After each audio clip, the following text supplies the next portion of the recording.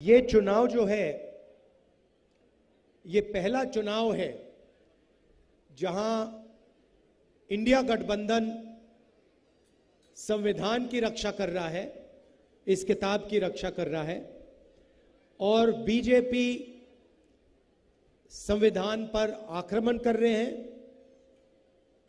खुलकर उनके नेता कह रहे हैं कि वो संविधान को खत्म कर देंगे, रद्द कर देंगे फेंक देंगे। तो चुनाव में यही लड़ाई है। मोदी जी के नेता हर रोज कह रहे हैं कि हम संविधान को खत्म कर देंगे, उनको पार्टी से नहीं निकाला जाता।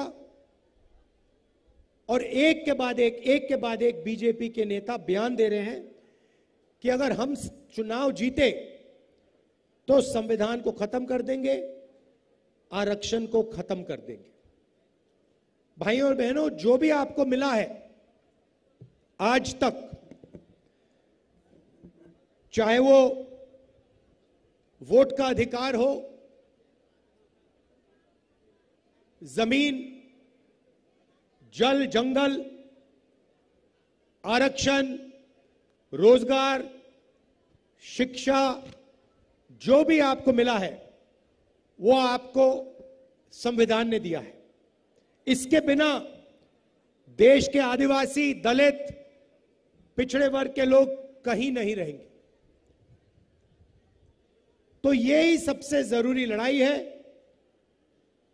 चंपा सोरेन जी, हेमंत सोरेन जी, मैं कांग्रेस पार्टी के सब नेता एक साथ संविधान की रक्षा कर रहे हैं, आरक्षण की रक्षा कर रहे हैं, पब्लिक सेक्टर की रक्षा कर रहे हैं। और बीजेपी के लोग इस पर आक्रमण कर रहे हैं, इसको खत्म करने की कोशिश कर रहे हैं। तो हम सबको मिलकर संविधान की रक्षा करनी है। पहली बात यह है, बीजेपी के लोग आदिवासियों को वनवासी कहते हैं। आदिवासी हम कहते हैं गर्व से कहते हैं, आदिवासी का मतलब वो लोग जो हिंदुस्तान के, इस धरती के पहले मालिक थे। मतलब सबसे पहले यहाँ पे इस ज़मीन पर आदिवासी लोग रहते थे। ये ज़मीन जो है ये जंगल, ये जल उनका हुआ करता था। आदिवासी शब्द का मतलब यह भी है कि जो पहले मालिक थे, उनको ज़मीन पर, जल पर, जंगल पर अधिकार मिलना चाहिए और शिक्षा में स्वास्थ्य में, विकास में, सरकार को चलाने में उनकी भागीदारी होनी चाहिए। अब बीजेपी के लोग कहते हैं, नहीं, आप आदिवासी नहीं हो। आपका नाम आदिवासी नहीं है, आपका नाम वनवासी है। ये बीजेपी के लोग 24 घंटा बोलते रहते हैं। वनवासी का मतलब वो लोग जो जंगल में रहते हैं। बीजेपी ने आपको यह नाम इसलिए दिया है क्योंकि वो आपको अधिकार नहीं देना चाहते हैं। वो आपको हक नहीं देना चाहते, वो आपको भागीदारी नहीं देना चाहते। इसीलिए 24 घंटा वो आपको वनवासी कहते रहते हैं। आप वनवासी नहीं हो, आप आदिवासी हो, आप हिंदुस्तान के पहले मालिक हो यह ज़मीन आपकी थी यह जल आपका था यह जंगल आपका था। यह साफ़ मैं कहना चाहता हूँ और हिंदुस्तान में आपको भागीदारी मिलनी चाहिए। आपके बच्चों को इंजीनियर, डॉक्टर, लॉयर बनना चाहिए। बिज़नेस में, कॉर्पोरेट इंडिया में आपको जगह मिलनी चाहिए।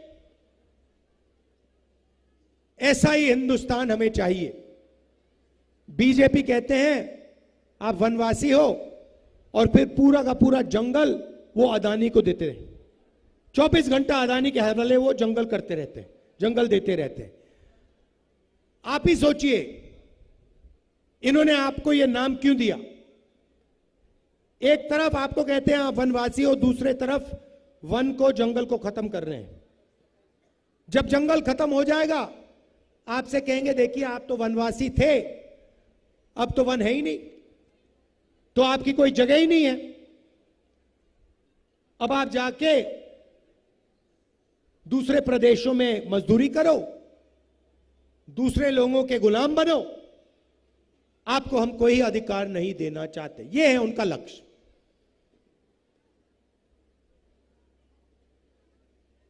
और आपका इतिहास है, आपकी भाषाएँ हैं, आपकी हिस्ट्री है, उसको वो कुचलना चाहते हैं, खत्म करना चाहते हैं। हम आपकी भाषाओं को, आपकी हिस्ट्री को, आपके इतिहास को इन सब चीज़ों की हम रक्षा करना चाहते हैं, इनको आगे बढ़ाना चाहते हैं। यह फ़र्क है हम दोनों में। और भाई और बहनों, जो भी वो करते हैं, अरबपतियों के लिए करते हैं। उनके 22-25 मित्र हैं, अदानी, अंबानी जैसे। उन्हीं के लिए पूरा का पूरा काम होता है। ज़मीन उनकी, जंगल उनका, मीडिया उनका इंफ्रास्ट्रक्चर उनका, सड़कें उनकी, पुल उनके, पेट्रोल उनका, सारा का सारा उनका। पहले पब्लिक सेक्टर हुआ करता था, उसमें आदिवासियों को, दलितों को, पिछड़ों को जगह मिलती थी। रिजर्वेशन था उसमें। उसको सारे के सारे को प्राइवेटाइज कर रहे हैं। और खुलकर कह रहे हैं कह रहे हैं कि हम रेलवे को भी प्राइवेटाइज कर देंगे। यह आपकी पूंजी है। यह पब्लिक सेक्टर आपकी पूंजी है रेलवे आपकी पूंजी है। ये सड़कें, ये पुल ये आपके हैं। ये अदानी के नहीं है। और पूरा का पूरा वो उनको देते रहते चौबीस घंटा। आप ही मुझे बताइए, ये मीडिया के लोग खड़े हैं। ये कभी आदिवासियों की बात करते हैं? कभी करते हैं। कभी नहीं करेंगे। ये आपके हैं ही नहीं। ये अरबपतियों के हैं। ये उनका काम करते हैं। ये अंबानी जी की शादी दिखा देंगे आपको 24 घंटा। मगर आदिवासी मर जाए, दब जाए, कुचल जाए, हाथ जोड़े, कभी नहीं दिखेगा मीडिया पे आपको। क्यों? मीडिया में आपका कोई है ही नहीं। पत्रकारों को देखिए। मुझे एक बता दो नाम। एक नाम। नेशनल लेवल आदिवासी पत्रकार का नाम मुझे अभी बता दो। एक एंकर का नाम बता दो, जो इनके स्टूडियो में बैठ के आपकी बात करता है। एक नहीं है। हिंदुस्तान की 200 सबसे बड़ी कंपनियों की लिस्ट निकालो। उनके मालिकों की लिस्ट निकालो। उसमें आपका कोई आदमी नहीं है। एक आदिवासी नहीं मिलेगा। पब्लिक सेक्टर में थे। उसको खत्म कर दिया। तो इन्होंने 22 लोगों के लिए काम किया है। 22 अरबपति बनाए। अब हमने डिसाइड कर लिया, निर्णय ले लिया है, अगर ये 22 अरबपति बनाएँगे, हम करोड़ों लाखपति बनाने जा रहे हैं। और देखना देखना, नरेंद्र मोदी ने 22 लोगों का 16 लाख करोड़ रुपया कर्जा माफ़ किया है। मतलब 22 लोगों को उन्होंने 24 साल का मनरेगा का पैसा पकड़ा दिया।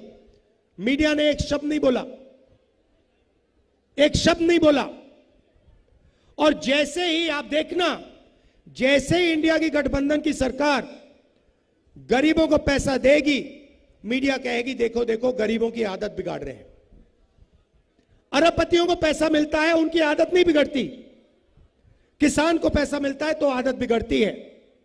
मजदूर को पैसा मिलता है तो आदत बिगड़ती है। पहले ही कहते थे, मनरेगा देखो, मनरेगा कितनी खराब योजना है। इसमें मजदूरों की आदत बिगाड़ रहे वो मजदूरी कर रहा है। उसको पैसा मिल रहा है मजदूरी के लिए। और ये कह रहे नहीं, गरीबों को पैसा नहीं मिलना चाहिए। तो ये उनके हैं, आपके नहीं है। ये 24 घंटा मोदी की फ़ोटो दिखाएँगे आपको। ये देखो। ये 24 घंटा नरेंद्र मोदी की फ़ोटो दिखाएँगे। आप ही अपने आप से पूछो, नरेंद्र मोदी जी की फ़ोटो दिख रही है, मीडिया पे 24 घंटा आ रहे हैं, मगर आदिवासी की कोई आवाज़ नहीं, पिछड़ों की कोई आवाज़ नहीं, दलितों की कोई आवाज़ नहीं किसानों की कोई आवाज़ नहीं, मजदूरों की कोई आवाज़ नहीं। ये हो क्या रहा है? मीडिया में अदानी जी दिखते हैं, अंबानी जी दिखते हैं, मोदी दिखते हैं। गरीब कोई नहीं दिखता। नरेंद्र मोदी जी ने राम मंदिर का उद्घाटन उद्घाटन किया। नरेंद्र मोदी जी ने नए पार्लियामेंट बिल्डिंग का उद्घाटन किया। धूमधाम से किया। सारे के सारे मीडिया दिखा रहे थे। नई पार्लियामेंट बिल्डिंग, चमकती हुई पार्लियामेंट बिल्डिंग। राष्ट्रपति आदिवासी है। आपने हिंदुस्तान की राष्ट्रपति को पार्लियामेंट हाउस में देखा? नहीं देखा। आपने हिंदुस्तान की राष्ट्रपति को राम मंदिर के इनोग्रेशन में देखा? नहीं देखा।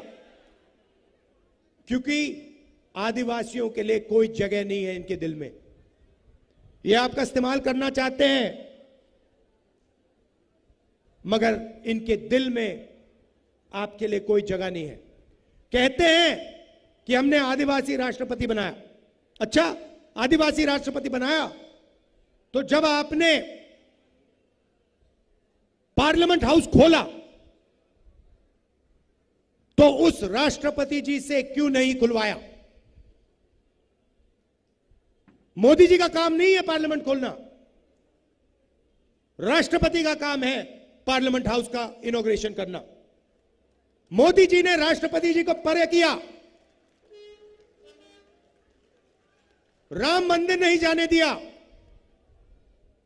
और फिर आपसे आके वोट मांगते हैं। क्या समझ रखा है उन्होंने? क्या आप इस बात को नहीं समझोगे कि हिंदुस्तान की राष्ट्रपति का दो बार उन्होंने हिंदुस्तान के सामने, दुनिया के सामने अपमान किया है। तो ये उनकी सोच है। मध्य प्रदेश में इनके एक नेता ने आदिवासी युवा पर पेशाब किया और पूरे हिंदुस्तान में वीडियो फैला दिया। इनकी सोच बदल नहीं सकती। इनकी सोच बहुत पुरानी है।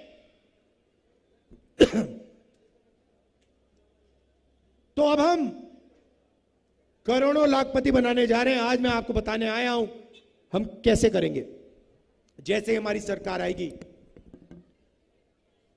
हिंदुस्तान के सारे के सारे गरीब परिवारों की लिस्ट बनेगी।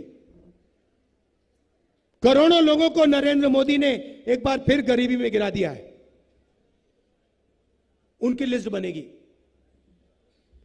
हर गरीब परिवार में से एक महिला का नाम चुना जाएगा। गरीब परिवारों में आदिवासी होंगे, दलित होंगे, पिछड़े वर्ग के होंगे, ज़्यादा से ज़्यादा आदिवासी होंगे। करोड़ों आदिवासी परिवारों के नाम आएँगे। उनमें से एक महिला का नाम चुना जाएगा। हर परिवार में से एक महिला का नाम चुना जाएगा। जैसे ही हमारी बहनें आई हैं, और फिर उन महिलाओं के बैंक अकाउंट में, करोड़ों महिलाओं के बैंक अकाउंट में साल का हज़ार रुपए नहीं, दस हज़ार नहीं, पचास हज़ार नहीं, सत्तर अस्सी हज़ार नहीं, साल का एक लाख रुपया हम डाल देंगे। आप सोचो, किसी भी किसी भी पार्टी ने ऐसा काम किसी भी देश में नहीं किया। हम करोड़ों महिलाओं के बैंक अकाउंट में साल का एक लाख रुपया डालने जा रहे भाई और बहनों।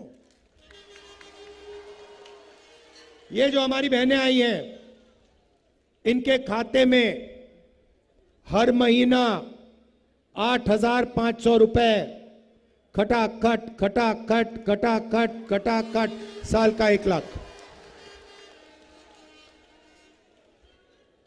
और भाइयों और बहनों उस दिन तक पैसा जाएगा।